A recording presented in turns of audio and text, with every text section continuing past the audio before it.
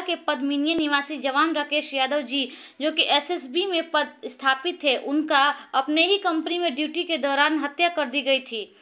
आज dead body पहुँचने पर पूरा इलाका गमगीन हो गया। राजद के प्रदेश महासचिव मनोज सिंह जी वहाँ पहुंचकर शोकाकुल परिजनों से मिले और बोले कि हम मांग करेंगे भारत सरकार से कि जो सिपाही दोषी है, उन पर कार्रवाई हो और भारत सरकार राकेश यादव जी के परिवार को नौकरी दे तथा विधवा के नाम से पेट्रोल पंप या गैस एजेंसी और दो करोड़ रुपया उनके परिवार को सरकार दे।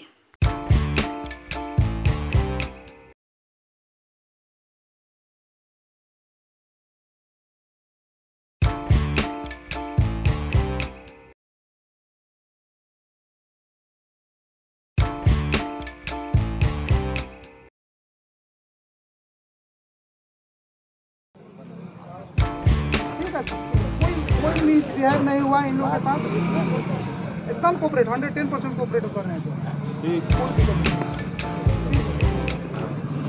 हाँ।